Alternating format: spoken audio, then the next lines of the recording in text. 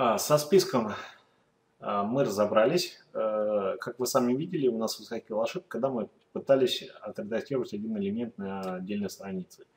А, Все это потому, что мы не сделали, не создали форму редактирования. Давайте исправим это упущение. Э, ну, сначала я хотел бы разобрать общие принципы работы данной формы. А, можно выделить следующий функционал. Как правило, требуем административной страницы редактирования. Это защита страницы от несанкционированного доступа, получение и подготовка данных формы, а вывод а, формы редактирования в удобном для пользователя виде, обработка изменений данных формы с анализом ошибок. Возможность API, предназначенная для формирования административных страниц, позволяет реализовать эти функции практически независимо друг от друга – качестве удобного э, для пользователя вида формы предполагается возможность создания э, формы, разбитой на страницы с динамическим переключением между ними посредством именованных кладок. Давайте разберем схему работы административной страницы редактирования. Сначала у нас есть костяк страницы, а, в котором а, осуществляется подключение соответствующих заголовках, подключение языковых файлов, проверка прав доступа и инициализация соответствующих модулей. У нас есть настройка интерфейса, а, где мы можем настроить э, закладки и настроить административное меню. А, также у нас есть выборка и подготовка данных, а, где мы осуществляем выборку данных, Соответственно, в случае, если мы открываем страницу редактирования э, на редактирование уже существующего элемента, либо получение данных из формы и инициализация данных. Также у нас есть блок, отвечающий за обработку или сохранение данных. А, этот блок у нас э, принимает данные из формы, выполняет их обработку и выполняет редирект при отсутствии ошибок. Э, соответственно, редирект выполняется только в том случае, когда у нас э, нет ошибок, и если нет ошибок, у нас произошло соответствующее изменение. А, запись была принята, э, занесена в базу данных, и все прошло успешно. Далее у нас есть часть вывода. А, вывод у нас выводится административное меню, Информационные сообщения – это ошибки, те или иные, и уведомления, допустим, о успешном сохранении. А, а также форма, собственно, сама форма закладками. Это, собственно, вывод самой формы, вывод кнопок отправки и а, связь с сообщением об ошибках. А, разберем создание формы в административном интерфейсе. Э, в качестве примера мы будем использовать административную страницу модуля подписка и рассылка, э, то есть соответствующий продолжим нашу работу и сделаем в нашем модуле редактирование подписок и рассылок, но теперь детальную страницу. Э, для начала нам необходимо в нашем модуле создать файл рубрик edit.php.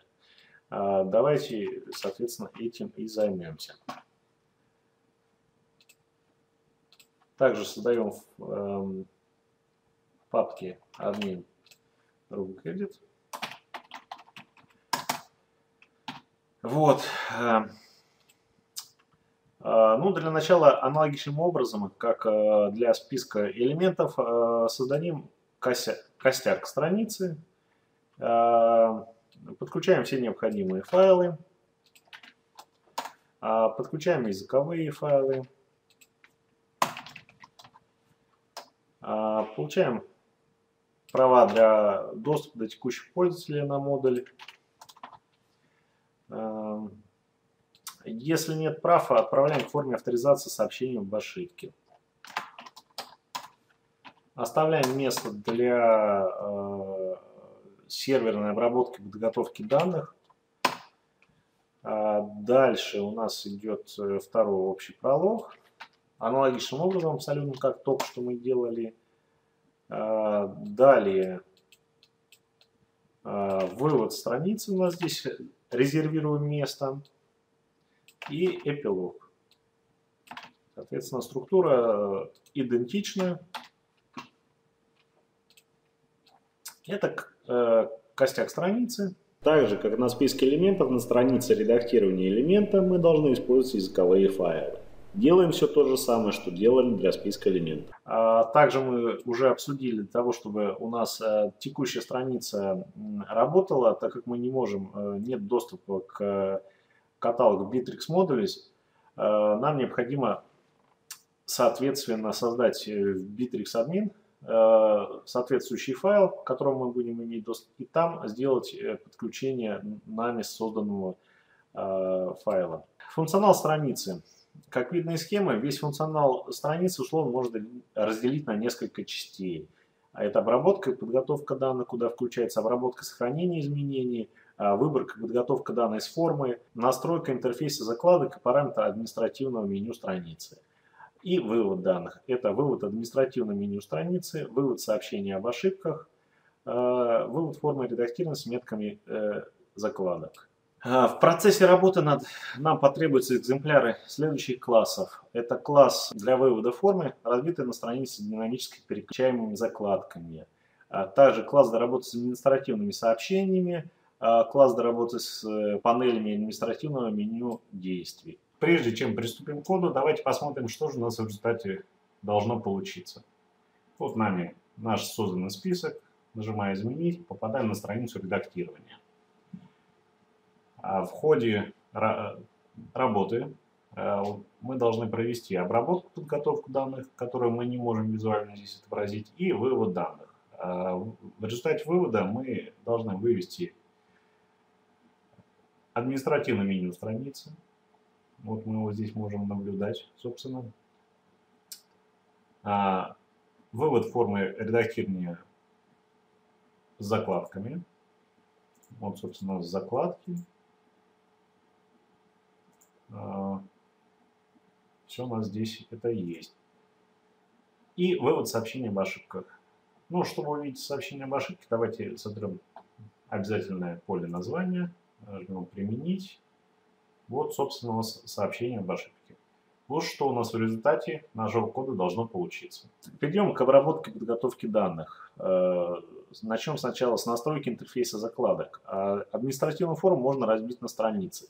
Я думаю, э, если вы работали с Bittrex, вы это уже прекрасно видели на примере, э, допустим, редактирования элемента инфоблока. Э, там переключение происходит при помощи закладок. Для описания структуры закладок нужно создать массив, элементами которого являются ассоциативные массивы, которые могут содержать следующие ключи. Далее нужно создать экземпляр класса CNTAP и передать ему следующую структуру. Сразу после проверки прав доступа у нас будет две закладки. Соответственно, все это мы добавили. А, далее, обработка и сохранение изменений. Сначала определим несколько перемен, которые нам понадобятся впоследствии. Это обязательно идентификатор редактируемой записи. Объявим перемену для сообщения об ошибке. А, и объявим флаг данные, полученные с формы, э, обозначает, что вводимые данные, полученные с формы, они из баз данных. А, необходимость сохранения изменений э, мы определим по следующим параметрам. Это страница вызвана методом POST. А, среди входных данных есть идентификаторы кнопок «Сохранить» и «Применить». А если эти условия соблюдены и пройдена проверка безопасности, можно сохранять переданные скрипту данные. Мы комментируем, что мы в текущий момент делаем. А, прежде чем что-то делать, а, соответственно, делаем проверку.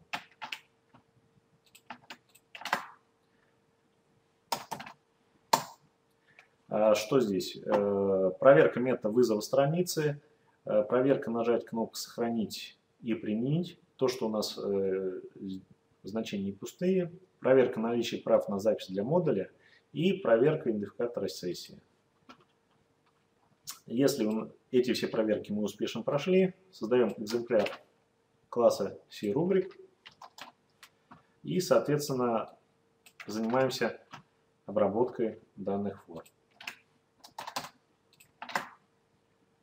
Здесь активность э, имя, сортировка, описание, э, сайт язык э, и ряд других параметров.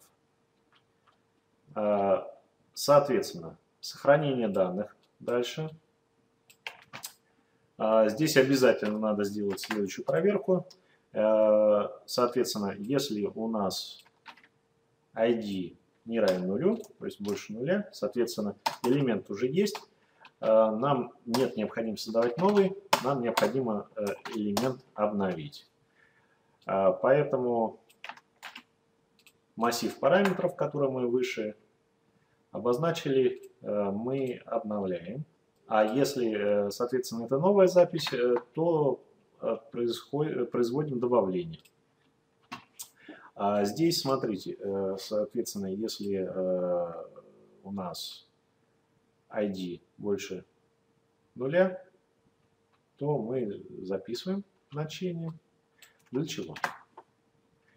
А для того, чтобы мы знали, что нам в дальнейшем э, после текущего действия делать. Если сохранение произошло удачно, а, то есть а, res, э, соответственно, у нас будет э, true, э, перенаправляем на новую страницу. В цели защиты от повторной отправки формы нажатием кнопки «Обновить» в браузере. То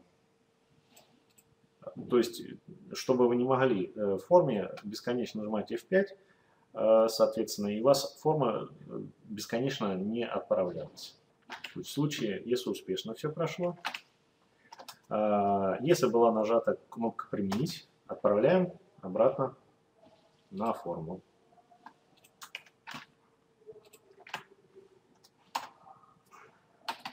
Если же была нажата кнопка «Сохранить», отправляем к списку элементов.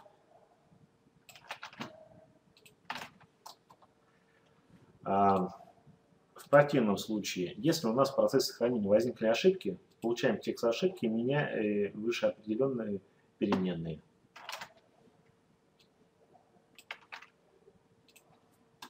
То есть у нас вот установили, что, что мы ниже знали, что у нас сохранение формы произошло с ошибкой.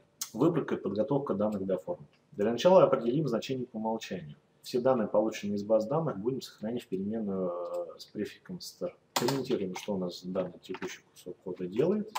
А, определяем набор значений по умолчанию. А, выбираем данные. А, подготавливаем полученные данные, устанавливаем заголовок страницы.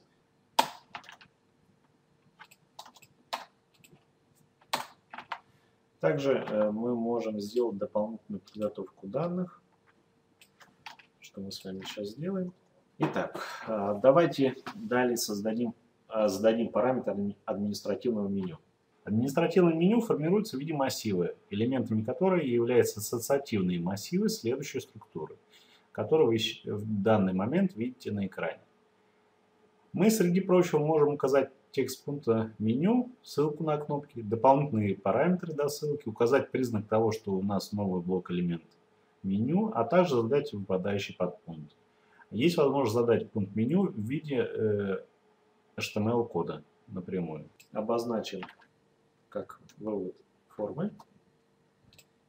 И после общего второго пролога, соответственно, э, добавляем наш код. Конфигурация административного меню, а также в случае, если ID элемента больше нуля, ну, то есть, соответственно, добавляется не новый элемент, э, то добавляем еще дополнительные параметры. Создаем экземпляр класса административного меню а, и выводим административное меню.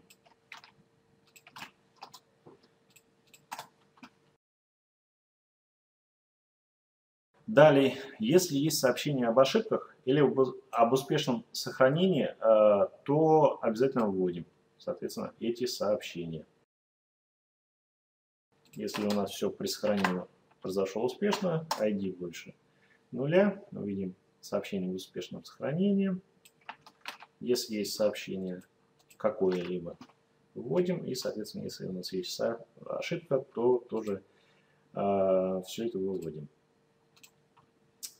Далее вводим, собственно, форму. Для инициализации механизма закладок и вывода панели закладок следует использовать метод C-admin tab control begin. Для разделения закладок C-admin tab control begin next tab дает завершение C-admin tab control end.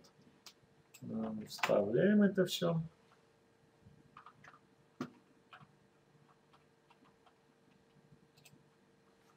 Давайте подробнее остановимся на формировании верстки формы. На что здесь стоит обратить внимание? На начало формы. Собственно, тег форм. Здесь две вещи, на которые стоит обратить внимание. Это action. Здесь мы передаем с помощью функции getCorePage текущий адрес страницы. А action у нас в теге форм служит для того, чтобы обозначать э, то место, то, тот URL страницы, на который будет отправляться данные после отправки формы. И вторая вещь в данном э, случае это Session Post, это проверка идентификатора сессии. То есть здесь у нас формируется идентификатор сессии, с помощью которого после отправки формы можно проверить, что у нас э, форма не подделана, и данные, которые пришли, им можно доверять, их можно использовать. Далее, с помощью э, функции Begin мы отображаем заголовки закладок, и открываем первую закладку с помощью функции begin next tab. Также я хотел бы обратить внимание на то, что здесь мы не используем никакой особенный HTML э, код, а также не открываем э, таблицу и не закрываем ее, не используем э, теги table а, и тому подобное. Но внутри мы уже используем теги trtd, соответственно формируя строки и ячейки таблицы. А соответственно заголовки таблицы, у нас уже автоматически с помощью ранее описанных функций begin, э, begin э, next tab формируется.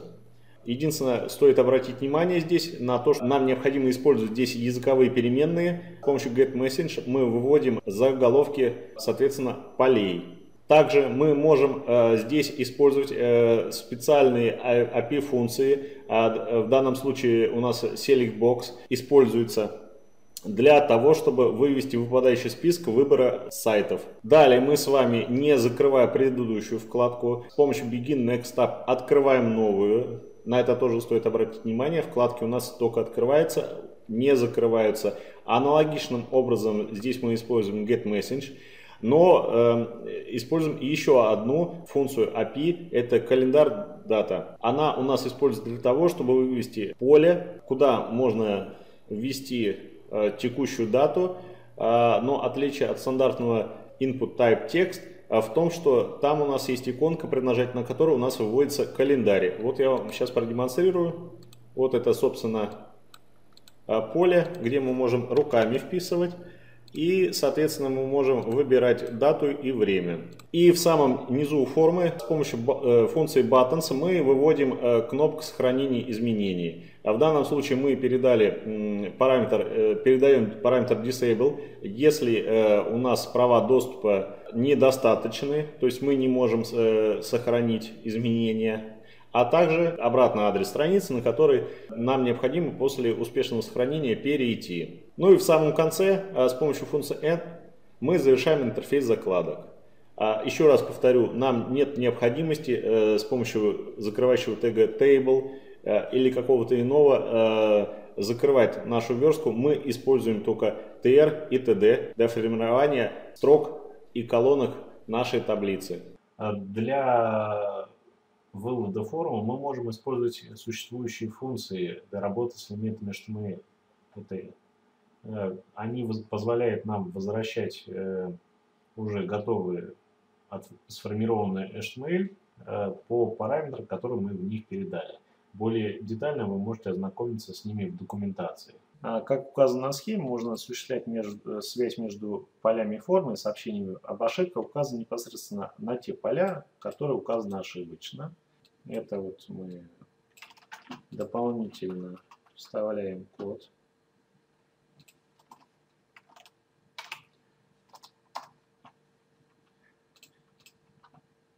И механизм закладок предоставляет также интерфейс для динамического управления закладками посредством JavaScript.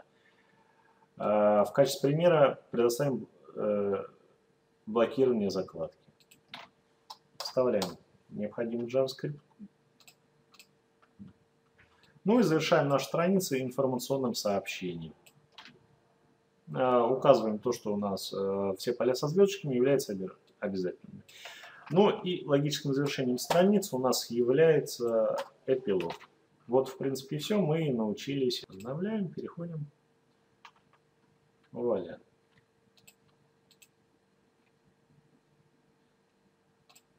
Э, как видите, да, выбор сайта, соответственно, активность, вывод включен, часть, сортировка. А, и то, о чем я только что говорил, автоматическая генерация.